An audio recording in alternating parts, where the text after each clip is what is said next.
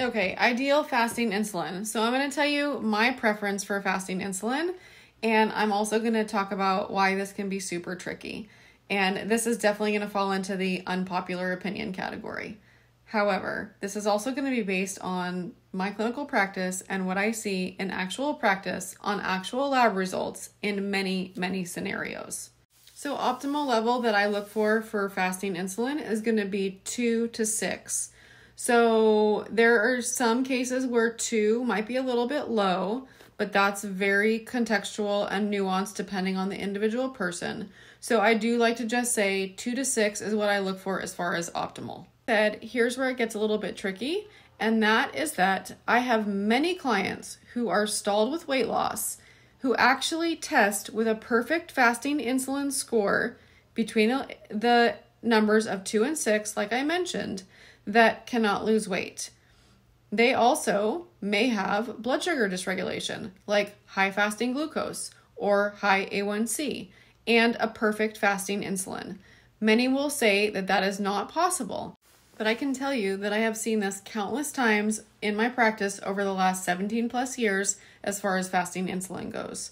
So, with that being said, other hidden factors can be leptin resistance, can be other inflammatory markers, can be leaky gut. The list goes on as far as weight loss resistance and what can be affected if fasting insulin is perfect and someone is not able to lose weight. So, all of those hidden factors are what I work with my clients diligently on, looking at all kinds of different functional testing, looking for optimal test results, correlating all test results together, because much of testing, blood work, functional testing is actually in the lab interpretation. So, I have had countless clients over the years tell me that they've been to many other practitioners, even functional doctors, even functional medicine practitioners, and they are really left with no answers. And uh, the other uh, the other thing that I see is that then based on whatever their tests are, they're given a long list of supplements, no rhyme or reason for why they're taking them.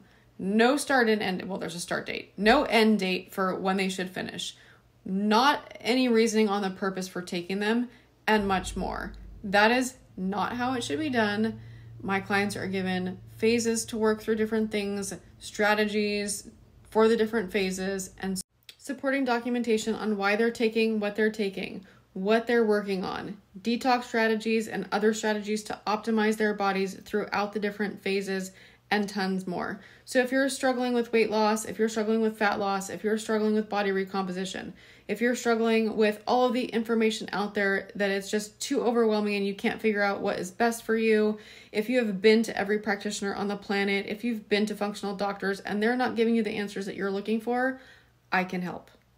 Clients in my weight loss accelerator group have lost anywhere from three to four to five to 14 pounds over the seven weeks that we work together.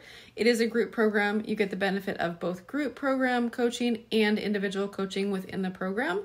My one on one clients have lost anywhere from 5, 10 to 70, 80, 90 pounds, depending on the individual person and what their goals are. So if you're struggling, definitely feel free to reach out.